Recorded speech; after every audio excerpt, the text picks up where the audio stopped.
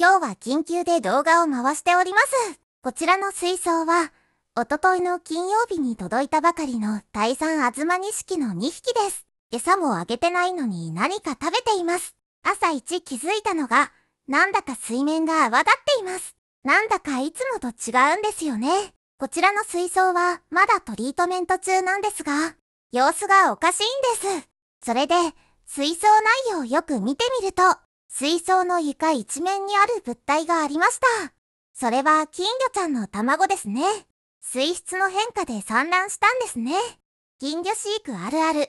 なので、別に珍しくはないですけど、予期してないと少しびっくりしますね。この産卵のせいで、泡がたくさん出てたんですね。産卵したら、水質が悪くなるので、後で水を変えますね。それで産卵したのが、白のアズマニシキちゃんですね。なぜわかるかというと、赤いアズマニシキが追っかけているでしょう。あれがオスですね。オスはメスを追っかけるので、このままではメスがかわいそうなので何とかしないといけないです。特に今養生中なので、体力とかが少し落ちてると思うので、さらに産卵で体力を落としているので、隔離してあげた方が良いです。という感じで、今回はね、隔離していこうと思います。隔離といっても、この水槽内で別々に仕切りをつけようと思います。ねえねえ、赤いアズマニシキちゃんを追いかけるのはやめてあげてかわいそうでしょ。白いアズマニシキちゃん、ちょっと待っててね。でも、たまたま2匹届いたけど、ペアができちゃった。今日は短い動画ですけど、最後までよろしくお願いしますね。アクソルチャンネル。では、少し様子を見ながら待っててくださいね。確かどこかにディスカス水槽で使っていた小型用の仕切りがあったはずなので、それちょっと持ってきます。そらちゃん、そらちゃん、早くしてあげないとかわいそうでしょあら、田中っち、いたの？う。はい、僕は隣でピラニア水槽のピラちゃんに餌をあげてたんですけど、なんだか隣が騒がしいので、見に来たらこんな感じになってたって感じです。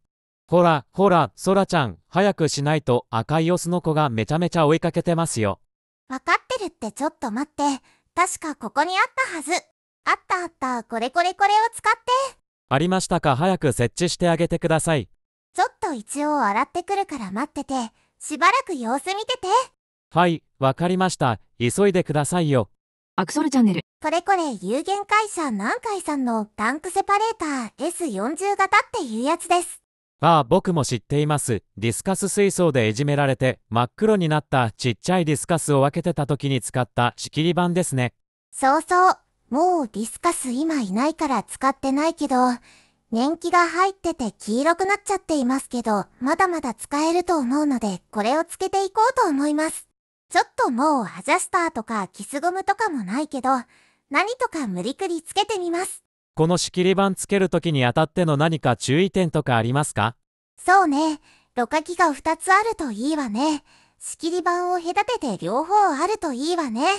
どうしても仕切り板つけると水の流れが止まっちゃうので、どっちにもエアレーションやろ過器があるといいわね。なるほど、パンチングで穴は開いているんですけど、やっぱり流れはよどみますよね。何かと、こういう非常事態の時に、こういう便利なものも持ってると役に立って良いですよね。まあ、この金魚ちゃんの動向も気になると思いますので、今後の動画も忘れずにチェックしてくださいね。金魚好きな方はチャンネル登録もよろしくお願いします。バイバイ。バイバイ。